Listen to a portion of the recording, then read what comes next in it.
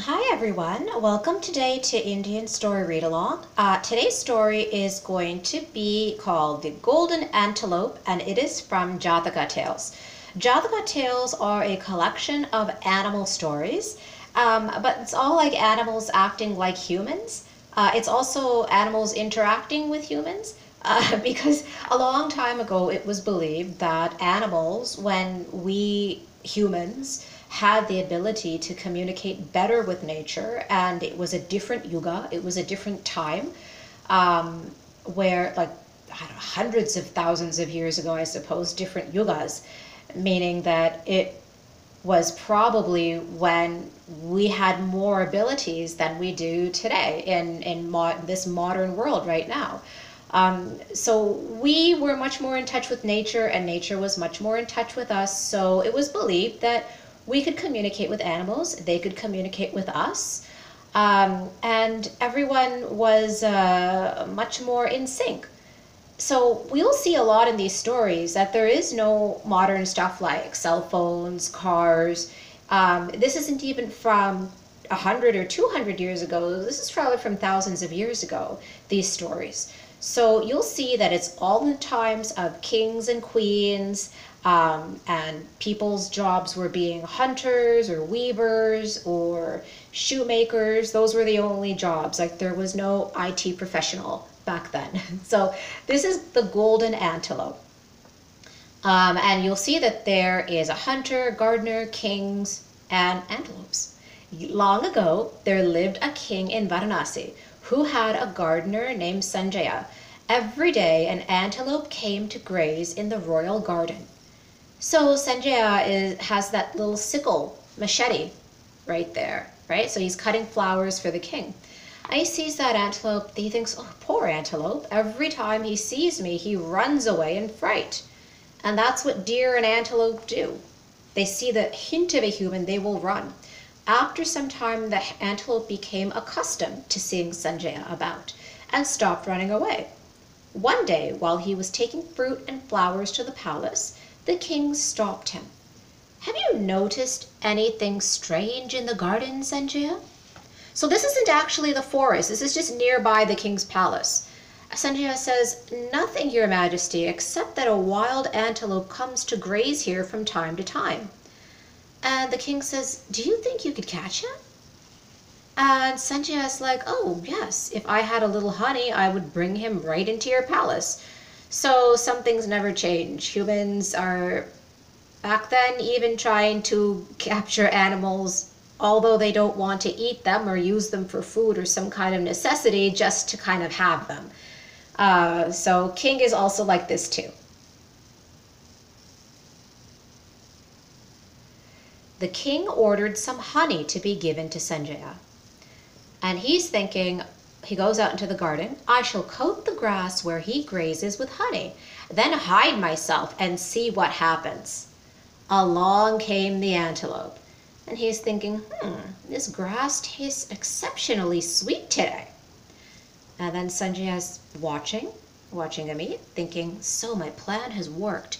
Now for the second stage. the antelope was so snared by the taste of the sweetened grass he would eat nowhere else. So that was part two of the plan. He wanted to make sure that the antelope uh, was kind of just stuck to this one place. He wouldn't go anywhere else. Now, hmm, Sanjay is thinking, now to show myself gradually. At first, the antelope was startled at the appearance of Sanjaya. Huh? He's thinking, oh, there's a human. But he has a little tuft of grass in there. in his hand. But soon he was eating the sweet grass that Sanjaya offered him. Ah, there they are, eating grass together. Now I must lead him toward the palace, Sanjaya's thinking. So, I mean, gradually, he doesn't, I don't think he does it all in one shot, but he stands up, has a bunch of grass in his hand, hands it to the antelope little by little. They go on a bit of a walk. And then he's like, all right, he hasn't even noticed that we are near the palace. That antelope is just eating the grass, eating away, walking with him. Once he was inside the palace, Sanjaya quickly shut the door. At the sight of so many men and knowing that he was trapped, the antelope began trembling with fright and dashed to and fro. Poor thing, he must have been terrified. When the king came down from his chamber and saw the antelope, he felt sorry for it. Well, I mean, you can't really say Sanjaya is the bad guy here. If he told the king earlier on, uh, King, that would be cruel to capture this antelope for you just because you want it, then Sanjaya's head would have been on the floor. So uh, I think that he was really just doing his job and he had to do it. The king asked him to do it, he had to. So the king was the one who made the mistake in asking someone to do something that was wrong, and I think he's realizing his mistake now. He says, Antelopes are so timid that they never revisit a place for at least a week if they have seen a man there. Sometimes they never go back again. This antelope was carried away by the taste of the sweetened grass and forgot himself. Surely there is nothing viler in the world than the lust of taste. Uh, no, uh, I have to disagree here. I, I think that by capturing a creature who doesn't know as much as you and taking advantage of that, that's probably worse than a creature eating what it wants. So the king is kind of turning this around on the antelope, not really showing much integrity at all. And uh, so I disagree, but the king says there is nothing viler in the world than the lust of taste. You have taught us a valuable lesson. So he takes the antelope, he sends it out and says, Go, my friend, you are free to go wherever you please. I don't know about this one. I mean, I like it, but I know that they were trying the whole message in this story, even though they don't have a moral at the end. Uh, it is this there's nothing viler in the world than the lust of taste. I think there's a lot of worse things than that, than eating what you want, like especially if you're a wild animal. There might have been a better way to kind of show that message.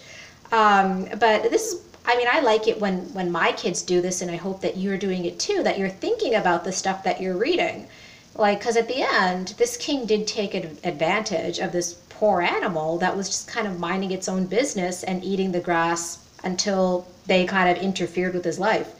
So um, there are other stories like this, more deer stories and antelope stories.